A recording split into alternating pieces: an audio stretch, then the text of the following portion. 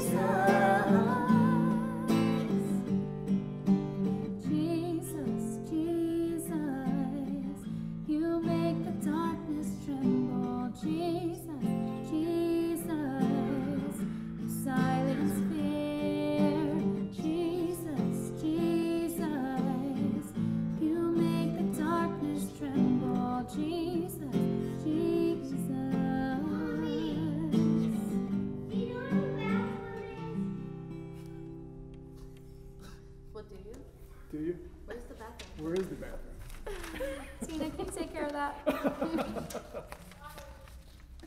I mean, that's important. I mean, that's important. It is important. Yeah.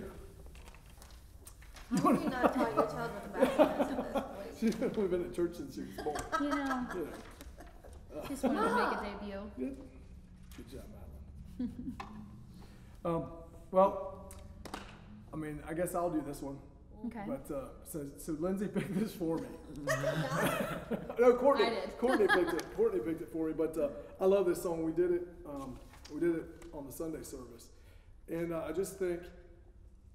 Uh, I mean, without trying to get real emotional, you know, right before this thing happened, as everybody knows that my dad is is going through some chemo, and and I just think he's he's got the best attitude, and, and of course Bob on our team has just had the best attitude of, of uh, Jesus is a waymaker. He, he said he's going to get you through it, and um, we've always said it might not look exactly how you think it's going to look when it's over, but uh, I promise His plan is better than ours, and uh, that's what the song is about, I think. So uh, we're just going to play it.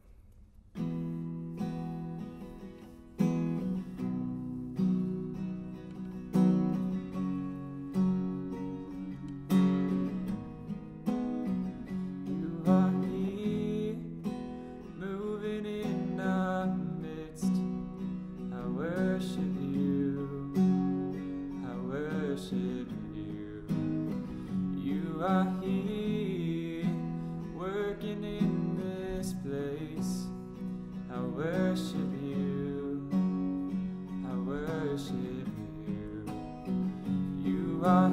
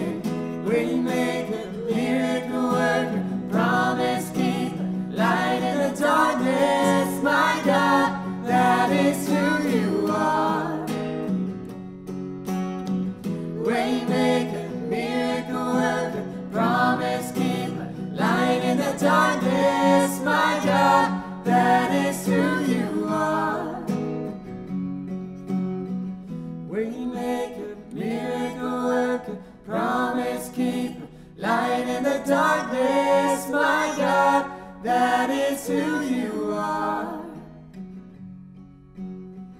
Waymaker, miracle worker, promise keeper, light in the darkness, my God, that is who you are.